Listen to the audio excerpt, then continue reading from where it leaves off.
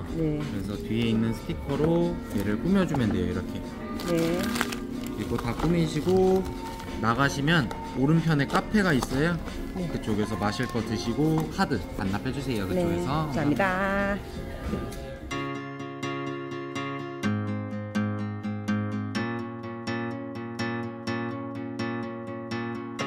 Hello, second, second time. Come on the table.